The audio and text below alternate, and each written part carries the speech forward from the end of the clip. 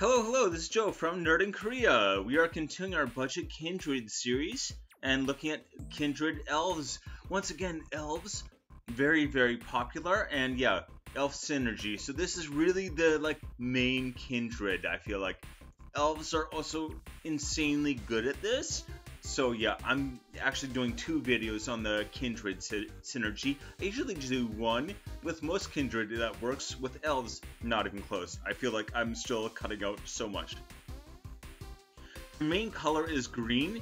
Extremely useful and flexible, so they've got all kinds of buffs, all kinds of like, they're, they're great for mana dorks, for ramp, for pretty much anything you need in a deck Elves can do. This is the sixth video of the series on Kindred Elves. Again, we're or the Kindred Synergy, I should say, and we're going to do one more. So tomorrow I'm going to do a second video on this because it just couldn't, I couldn't narrow it down enough. What do I mean by budget? I mean $2 or less. So as a rule on this channel, it's always $2 or less, and sometimes I get under that even. This unfortunately was not. We're also now on Facebook, so if you could like and subscribe, that would be great. Or and if you want to contact me or ask you know, give me any feedback or uh, any suggestions. MTG Nerd in Korea on Facebook. So yeah.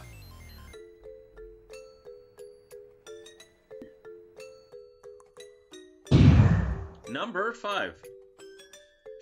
Elvish Warmaster, one in a green. So this is a 2-2. When whenever one or more other elves enter the battlefield under your control, again, other elves, it doesn't care if they're token, doesn't care what, yeah, right? There's a lot of ways to make elf tokens. Again, we have a different uh, token video, so I'm not talking about tokens exclusively here. But he'll make a 1-1 elf every time another elf enters. And he doesn't care if it's cast or if it's like actually just a token. Any kind of elf enters under your control, you make one more. Alright, so this ability triggers only once each turn. Each turn is actually very nice because you could potentially make an elf token on someone else's turn, and he'll also make an elf token. So, in, like in Commander or any kind of multiplayer thing, you can use other people's turns to do this doubling thing.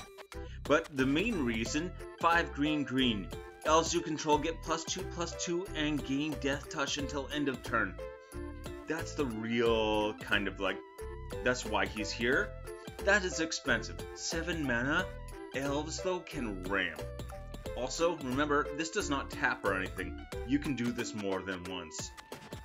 Also at instant speed. So if you've got a ridiculous, like, what, 14 open mana, you can do this twice and give everything plus 4, plus 4, and death touch. Um, that's, you know, that's a win con right there, I think. Anyway, 58 cents. Number 4. Elvish Dreadlord. So he's actually a black, so 3 black black for this 3-3 with Death Touch. Not too shabby. Uh, I guess 5 is not great for a 3-3, but Death Touch I like. Anyway, so when he dies, uh, non-elf creatures get minus 3, minus 3 until end of turn. Minus 3 is going to take out a lot of the board, right? Um, especially if you can like control when he dies. If you can sacrifice him or something, then great. But re what really puts him over the top is Encore, 5 black black. That's expensive, but this is to win. Right? So anyway. so he is he you can uh, cast him for his Encore. You'll exile this from your graveyard, and um, yeah, you'll make however many players there are copies. So or opponents. This is specified, Yeah, opponents. However many opponents you have, you get copies. So in a game of Commander, you probably have three opponents, three copies of this, and they all sacrifice on the end step, meaning all every other non-elf creature gets minus nine, minus nine.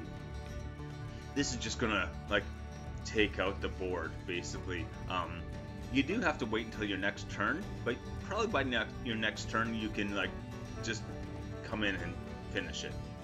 So 26 cents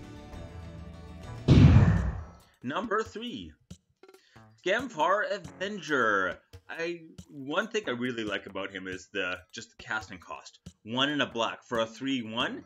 Whenever another non-token elf this has to be non-token, unfortunately. Or Berserker you control does. Berserker, sure, why not? You draw a card and lose one life. This can be your card draw sorted very easily in an elf deck, right? Especially if you've got some kind of recursion where you don't have to worry about your things going to the graveyard. You can just be throwing your non-token elves at opponents, and if they block and take them out, great. You're just going to like draw a card, lose a life, throw them back in the battlefield. Hey, good to go. It's kind of sorted for you, especially with black. You're probably doing Golgari, which is great with recursion. 23 cents. Number two. Ivar the Bellicose. Bellicose? I don't know. Anyway, another Golgari one here. Two black green. Whenever one or more elves you control attack, they gain death touch until end of turn. Again, any elf, right? You're going to have all kinds of token elves, and this makes them into like removal, basically. Oh, oh boy. Each creature you control has, whenever a mana ability of this creature resolves, put a number plus one plus one counters on equal to the amount of mana this creature produced. This ability triggers only once each turn you only need it to trigger once each turn, right? Mm-hmm. You're especially elves have lots of mana dorks that can make like three mana. So if you tap one of these mana dorks for three mana, they get plus three plus three like counters, permanent plus three plus three. You don't have to do that a whole lot before you're just like you've got this huge creature that's gonna if it attacks it's gonna have death touch, give it trample or start with something that has trample. And yeah, then you're pretty much good to go. Anyway, 152. Number one. Timberwatch Elf.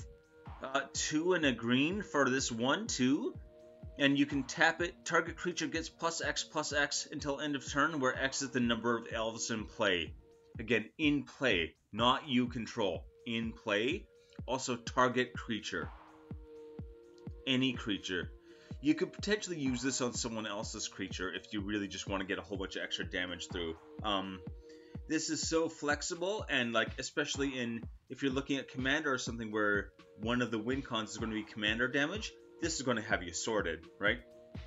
If you've got an elf deck, you're going to have a pile of elves, and this is just going to be like so much extra damage that you can probably take out, you know, you can take the game right there. Um, you don't have to do a whole lot with this anyway.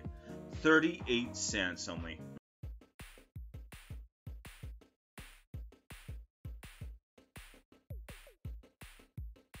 The list.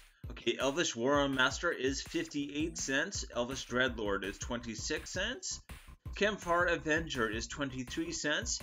Ivar the Bellicose, Bellicose, uh, 152. Timber Elf 38 cents only. Anyway, take it easy.